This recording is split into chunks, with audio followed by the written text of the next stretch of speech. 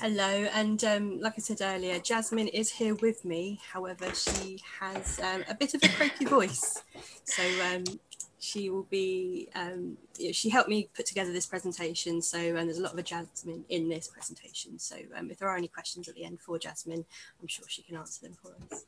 Um, so yes, so we were looking at the the area six about uh, fostering students' um, digital competence, which is often quite a hard one. So as an MEC facilitator, when I see, um, you know, uh, the you know the course about this, it's quite a difficult one to do and how to evidence it. So um, I suggested to Rob, and I think it was brought up in the last munch, that I could do something to show how Moodle and Mahara together could be used to um, facilitate, you know, the development of those competencies. So with that in mind, um, so these are the ones that um, I'm talking about. So it's all about um, digital literacy, it's about content creation, it's about collaborating in the digital space and problem solving. And um, Jasmin and I put our heads together and come up with two um, activities which you are more than welcome to use yourself. Um, I'll share the links at the end. Um, it's just sort of like a framework. Um, I call it a Mahoodle sandwich and you'll see why at the end. But you know, feel free to take this, um, remix it, do whatever you want. Um, I'd love to see if any of you um, are using this kind of model uh, in your own practice. But um, yeah, here we go. So the first example activity that um, we put together um, covers these two competencies. So it's about how you guide your learners to source and evaluate online materials and how you guide your learners to be safe online. So this is a, an individual activity and it's um, totally online. So um, this one's designed to be uh, asynchronous. However, you can um, you know, remix it to have, say, a live session at the start if you'd rather do it that way. It depends on how much um, sort of support your learners need. So, um, so for this example, um, it's an individual task and the students are asked to um, review um, some source materials all about um, credible sources online, especially with regards to web questing and web research. Um, so this sort of knowledge transfer bit is all done in Moodle. Uh, the information is given to the learner. And they are then asked to complete a short quiz, and this is mainly so that the learner can sort of benchmark themselves, say, right, yeah, I have understood the key concepts, but it's also for the teacher to sort of see whether or not um, you know, the materials that they've um, put, put forward and for, um, you know, whether or not the students actually picked up the key concepts themselves. Uh, the task is then set in uh, Moodle to you know, go to Mahara and um, in Mahara the tutor has created a template and the idea is that the students can go in, edit the template and then resubmit it back to Moodle um, using the uh, Moodle assignment um, feature.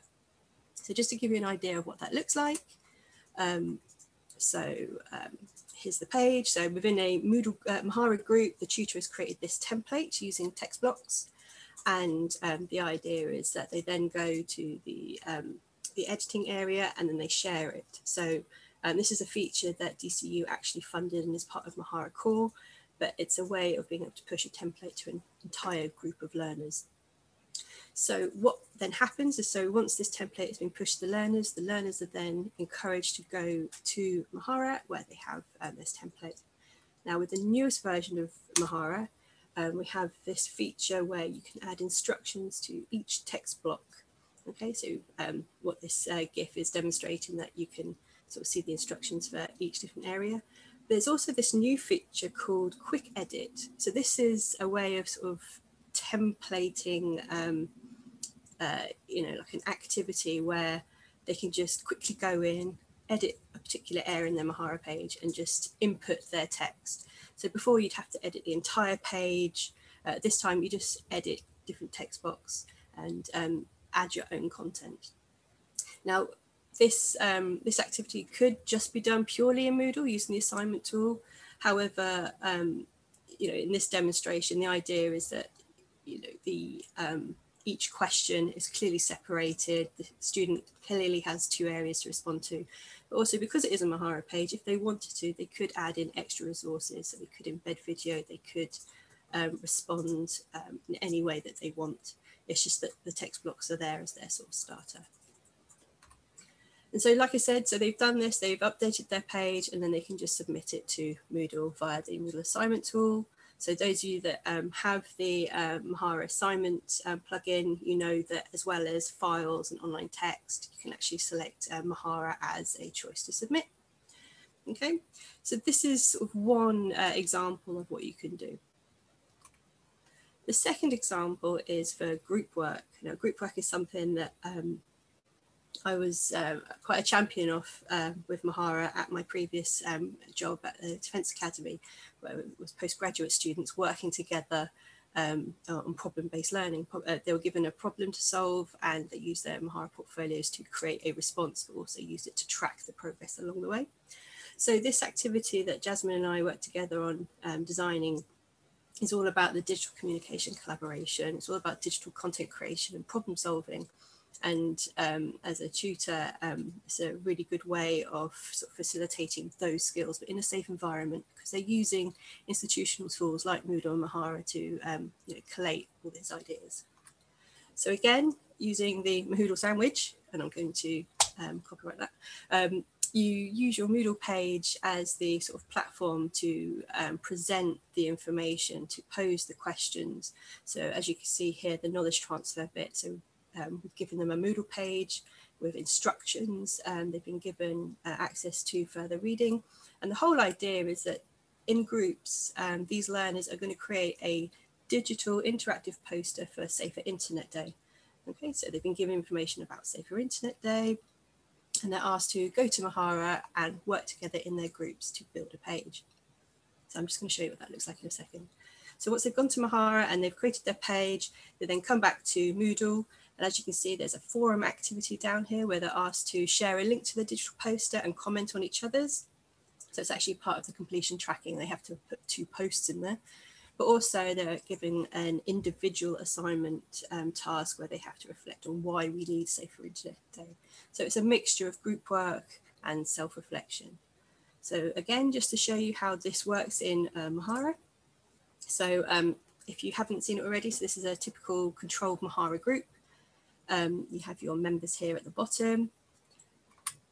The tutor has set up um, the instructions. They've actually included a link to the Big Blue Button here. So regardless of what um, sort of project management methodology they use, they always have a room for like a live session. So if they want to have daily stand-ups like in the morning, so get together and review the content and plan the rest of the day, they can use the Big Blue Button link to do that. Um, they also have the other tools that you can um, use in a Mahara group, such as the forums, um, the journal tool, if they were to keep notes along the way. They have a shared files area, so they can upload resources there, and the planning tool, if they want to use it. And then on the sort of, I guess, home page of the group, they have the latest forum and posts there, and um, a link to the poster, which they can all edit so again, using Mahara, there's all these different tools that um, they could use to collaborate, communicate, plan, collect, you know, all things that could be done in Moodle as well. So, you know, you could assign them a forum each, you know, use a group-based visibility on forums. Um, you can give them a wiki, you can give them all sorts of tools um, in Moodle. So if you don't have Mahara, you can still do this activity. It may not be, um, you know, a, a, a visually appealing post that they create, but then again, you could link into something like if you have Microsoft Office or Google, they can collaborate on, you know, a poster that way.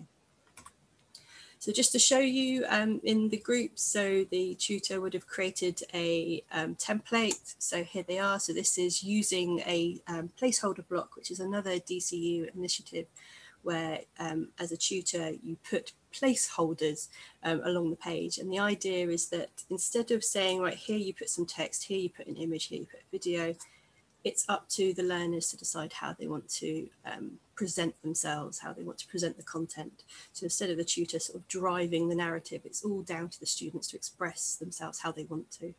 And so when a student um, flicks into um, edit mode you can see, they have the full power to configure the block however they want. And I have a little GIF here to show you how it works. So any, if you have editing rights to a page, you have the block here, you know you have to share a reflection on the task. And then as a learner, you can then decide how you want to share your reflection. So it could be an image, it could be a video, but in this case, the learner wants to um, share a journal entry that they wrote at that time, just to share how they were feeling um, so it's quite a clever block. Um, it's I think it's been there for about 18 months, two years now, and I really, really love it. A really, really great feature. So thank you, DCU and Lisa. So again, um, so like I said, you give the information to the learners, they go off to Mahara, they do their thing, and then they present their workings out in Moodle um, as it should, because Moodle is the um, sort of the platform um, to sort of collate all the learning activity. They're asked to um, share their poster in the forum and uh, submit their um, individual account. And you know, just just to show how the forum could work. So uh, as a tutor, um, there's four groups. So I've just pinned four um, discussion discussion threads to the forum I've also gone into the permissions and removed the ability for students to start a new discussion. So it kind of keeps it tidy and keeps it focused on each thread. So they're two different activities. Feel free to use them. Um, you know, again, this is my Moodle sandwich idea, you know, going with the Moodle Munch buffet. You know, so Moodle is your sort of platform um, to give out instructions and offer supporting materials. Mahara is the place where the students um, create their presentation, they show their workings out, they show their finished products and the steps and journey they got there, how they got there. And then they go back to Moodle and that's where the assessment and feedback happens, you know, either amongst um, their peers or with their tutor.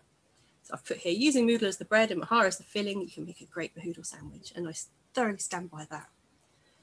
So these two activities they fit really really nicely in um, area six but you can see it just it can slot in and meet so many different competencies in the framework. And um, you know you know it's uh, this framework is is such a fantastic thing to have. And um, every Moodle Munch that I've gone to it's really really good to see how people have looked at the framework and demonstrated how these uh, competencies you know, have empowered their learners and have empowered um, the lecturers and learning technologists themselves.